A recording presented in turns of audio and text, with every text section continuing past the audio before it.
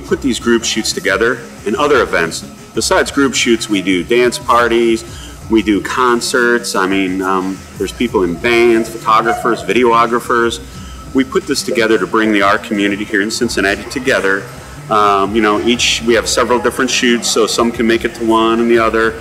But the whole thing, when you talk to a lot of the people in the community, it's all about community and working together. Now, we have some very talented people, uh, some very talented musicians, photographers, models, clothing designers, and um, it's great when they come together and we can help each other out. And not only do we support each other's events, but we uh, go to other cities. You know, there's some wonderful people out that we visit in Louisville, and they come to our events here. And the same thing with Pittsburgh and Indianapolis and Columbus and Dayton and Cincinnati. And it's just a really nice thing to have that sense of community. Group Shoot today is bringing back, bringing together some of the models here experience, some are new, same thing with the photographers, clothing designers, but it gives everyone a chance to kind of get together and network and some really wonderful things have been created from these uh, group shoots.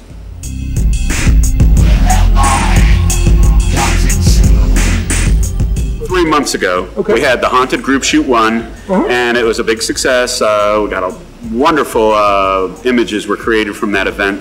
So we decided to, uh, Thompson House here was nice enough to let us do it again. And so this is the Haunted Group Shoot 2. And uh, we had a, some of the people were the same, but we had a different crowd today. And it was great for the, to get some exposure here.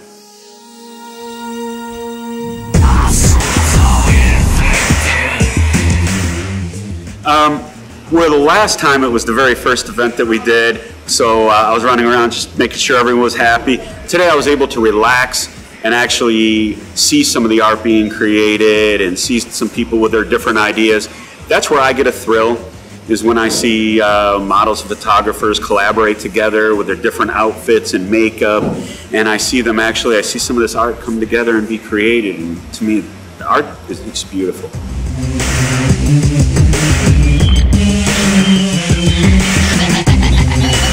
I do have some experience, um, and I've witnessed this in other cities, where you know you have club nights and uh, you invite people from the different art communities, models, photographers, and what you have is you get this community together, and you notice the same people at a photo shoot, a group shoot, um, at a club event, a concert, and after a while, it's the same people.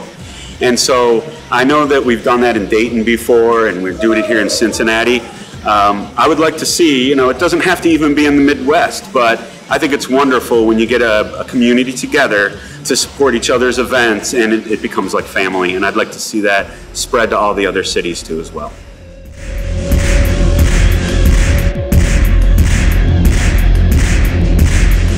Yeah, well, I wanted to thank everyone today for coming out. Um, you know, again, some people, same from the first one, but we also had new people today, so that was wonderful.